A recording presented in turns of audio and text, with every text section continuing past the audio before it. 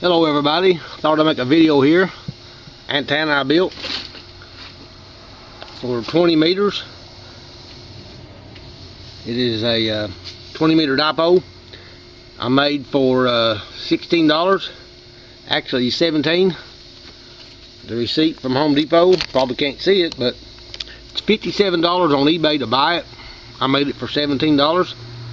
One wire is uh, soldered to the terminal in the bottom. The other wire is attached to the screw. Each wire is 16.8 feet. Needs to be a total of 33.3 in length. So it's 16.8 feet on each side. And then I put this on. I didn't use any glue. It fits together pretty tight.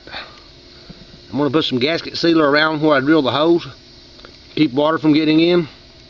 Put this up on the pole stretch the wires out into trees with rope. And what I come up with is uh, 468 divided by 14 which is a frequency for 20 meter 33.4 feet.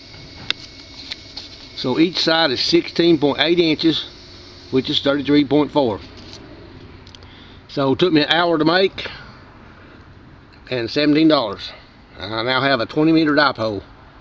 Thank y'all for watching have a nice day.